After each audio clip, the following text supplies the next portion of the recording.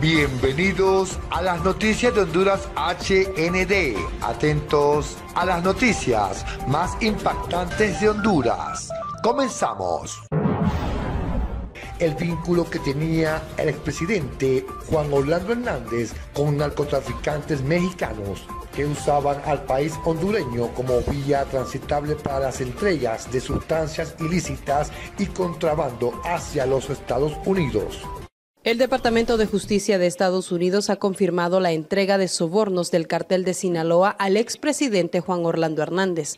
La última vez que lo hizo fue a través de un documento de inicio de presentación de pruebas que el fiscal Damian Williams entregó el pasado primero de mayo al Tribunal de Nueva York, que conoce el caso contra el exmandatario hondureño. De acuerdo a lo que se ha detallado, los carteles mexicanos de la droga llevaban años desde los últimos de la década de los 80 trabajando con intermediarios hondureños para usar el país centroamericano como punto de tránsito y reabastecimiento de la cocaína procedente de Colombia. Pero supuestamente fue hasta después del golpe de Estado de 2009 que el cartel de Sinaloa afianzó sus tratos en Honduras, en buena medida gracias a los entendimientos que logró con políticos del Partido Nacional, el que llevó al poder a Juan Orlando Hernández y el cual gobernó desde 2010 hasta 2022. De acuerdo a las pruebas de la Fiscalía, a partir de la llegada al poder del exmandatario Hernández, bajo el amparo del Estado, el mapa cambió entre los carteles de la droga, que mantenían divisiones en sus rutas. Los viejos capos, incluidos los cachiros y los valles, fueron cediendo terreno a la mafia estatal y eventualmente se entregaron a las autoridades estadounidenses. Hoy, en buena medida y con los testimonios de esos jefes, el Departamento de Estado ha reconstruido el rol del expresidente en asociación con el cartel de Sinaloa y el control del narcotráfico en Honduras.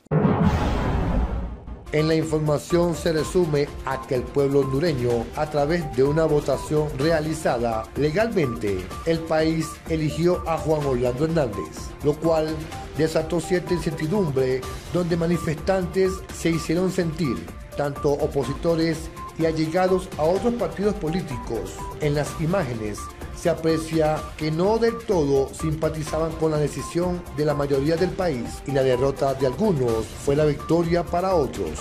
Luego de 21 días de incertidumbre, por fin el Tribunal Supremo Electoral en comparecencia nacional hizo oficial la declaratoria del ganador de las elecciones generales en Honduras. El presidente electo de la República de Honduras para el próximo cuatrenio es el ciudadano Juan Orlando Hernández Alvarado, con los designados presidenciales que lo acompañan. De acuerdo con el Tribunal Supremo Electoral, Juan Orlando Hernández obtuvo el 42.95% de los votos contra un 41.42% del candidato de la alianza de oposición, Salvador Nasralla.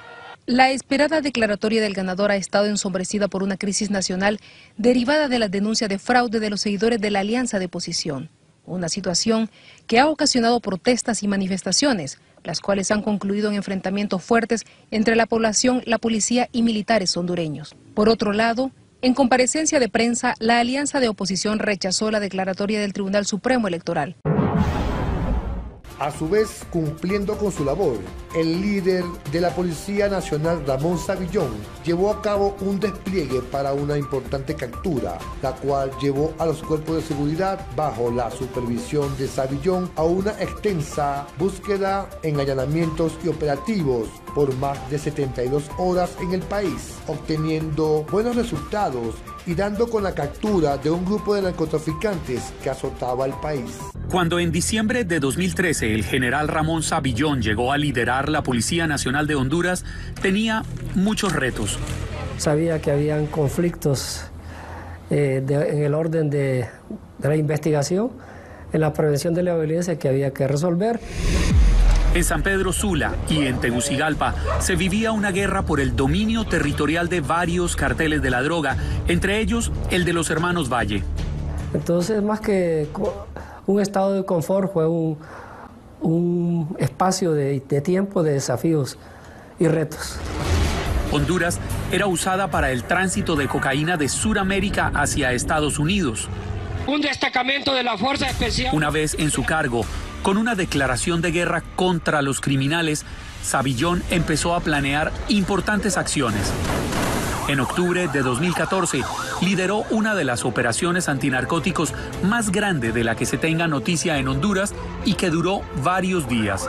contando con la colaboración de la Oficina de Administración y Control de Drogas, DEA. El general Savillón asegura que mantuvo en secreto el operativo. Fuentes cercanas al entonces presidente de la República, Juan Orlando Hernández, dicen que el mandatario enfureció al no ser informado previamente que la Fiscalía está preparada para enfrentar el juicio y está trabajando para garantizar que se aplique la justicia de manera adecuada. Estas medidas previas al juicio son comunes en casos de alto perfil y buscan establecer las bases legales para el desarrollo del proceso legal.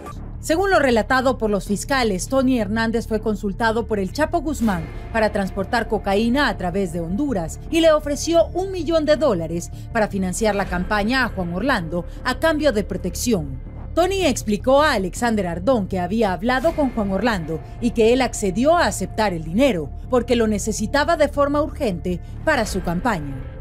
El día previo a las elecciones, menciona el documento, otro socio del cártel de Sinaloa, CW2, entregó 300 mil dólares para comprar una casa, además de brindar seguridad a Ricardo Álvarez como compañero de fórmula y vicepresidente, a lo que el político manifiesta la única seguridad que tuvo fueron personas honorables, humildes, pagados por el gobierno a pesar de los actos ocurridos en el país hondureño, se ha retomado la idea de emprender una nueva fase luego que el vicepresidente del Congreso, Racel Tomé, expresara que se puede construir una nueva patria si se presta la colaboración de dichos mandos en el gobierno y la presidencia ejercida por Xiomara Castro.